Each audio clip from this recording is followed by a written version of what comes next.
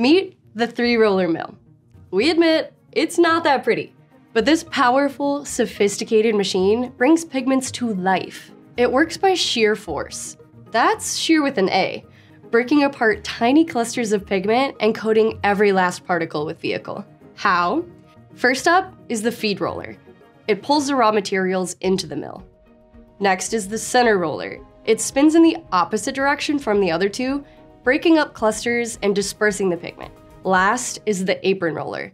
It grinds and crushes everything together as the paint gets passed through a superfine gap. These rollers spin fast. So fast that they could actually cook the paint. But luckily, an internal water cooling system keeps everything at the perfect temperature. Once the paint has gone through the mill, it's gathered at the front along the apron's knife edge, where it's ready to be collected or passed through the mill once or twice again. That's where we get the term triple milled. It's not the number of rollers, that's just a weird coincidence. Of course, creating the perfect paint isn't just about the machine. It takes meticulous formulation and skilled craftsmanship too.